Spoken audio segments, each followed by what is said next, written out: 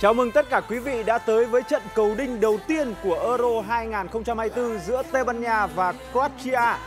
Thưa quý vị, đây là trận đấu trong khuôn khổ bảng B của Euro 2024 và mặc dù rất hào hứng được làm trận đấu đầu tiên được tham gia bình luận vào trận đấu đầu tiên, trận cầu đinh đầu tiên của Euro năm nay, hai đội bóng hàng đầu thế giới